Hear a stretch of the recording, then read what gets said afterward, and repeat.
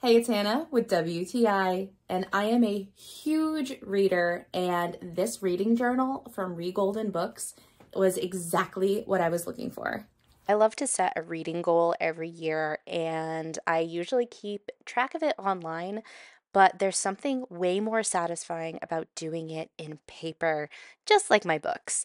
So I love how organized this is. You can index your books, you can put down a reading list and say what you have, what you don't have, what you want, your reading tracker for yearly and monthly.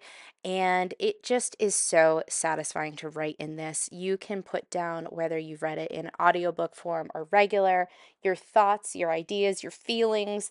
It is so detailed across these two pages. I love this pocket in the back and a place for my pen. It really is the perfect thing for someone obsessed with reading.